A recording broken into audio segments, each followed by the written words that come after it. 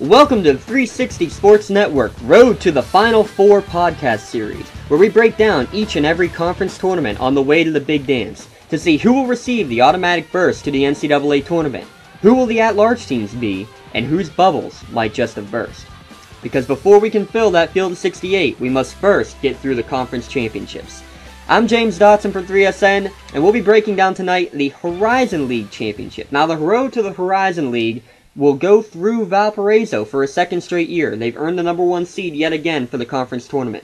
All first round games in the Horizon League will be played at the host site of the lower seed, and then winners will all travel to Valparaiso for the second and third round games, with the championship game played at the lowest remaining seed, more than likely at Valparaiso again. Uh, before we talk about the number one seed, there are a couple of the mid-pack teams in the Horizon League that we want to look at. First of all, I want to look at the Green Bay Phoenix, especially Keifer Sykes and Alec Brown. They lead the way for the team, uh, uh, for the Green Bay Phoenix, because they each shoot 42% from three-point range. Because of that, I'm keeping my eye on them to possibly make a bit of a run here. Uh, they also swept Milwaukee this year. They won by 20 points in both games. So I see Green Bay advancing and possibly could pose some problems down the stretch here in the Horizon League Championship. Another team I want to look at, Youngstown State. They defeated Loyola twice this year, but both in close games, 68 to 66 and 60 to 59. They also have had some issues with injuries this season. Many players have missed a game or two here and there. Now, they do have a Horizon League first teamer in Kendrick Perry, but he's missed the past three games due to a knee injury. It's unclear whether or not he will be back. They'll need a solid performance from him if he's back. If it's not going to be able to play for him, then they're going to have to rely on Defensive Player of the Year, Damian Eargle. The Penguins have some good players on their team, especially those two, Perry and Eargle. The question is, do they have the depth to be able to work through it? And the Perry injury is not going to help. They lost their season finale without him to a very balanced Wright State team by a final score of 72 to 45. Didn't look very good.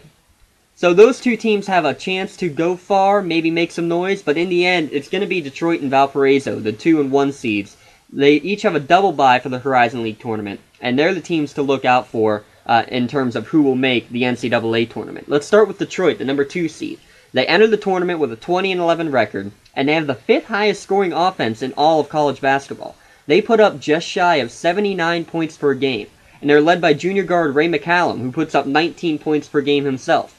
The entire six-man Titans rotation is a threat both inside and out, all parts of the court.